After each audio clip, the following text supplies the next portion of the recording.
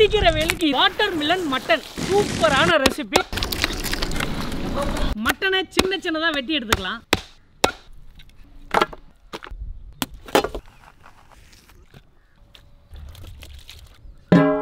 Oil கிராம்பு மிளகு.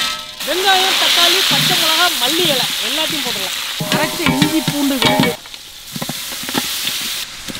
அடுத்ததான் மசாலா போட்டுடலாம். சோம்புத்தூள் சீரகத்தூள் கரம் மசாலா கறி மசாலா. முக்கியமான பொருள் இது இதையும் சேர்த்துடலாம். அது கூடவே தயிர் ஊற்றிக்கலாம் கல்லுப்பு. நல்லா கம கம கமன்னு வாசனையாக இருக்குங்க.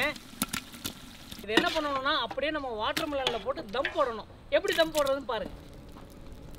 தர்பூசணி தம் போட்டாச்சு. அதுக்கு மேலேயே மல்லி இலையும் கருவேப்பிலையும் போடணும் போட்டுடலாம். கிட்டத்தட்ட இருபது நிமிஷமா வாட்டர் மிலனில் அப்படியே தம் ஆகிட்டுருக்கு எடுத்து நம்ம சாப்பிட போயிடலாம். அடடா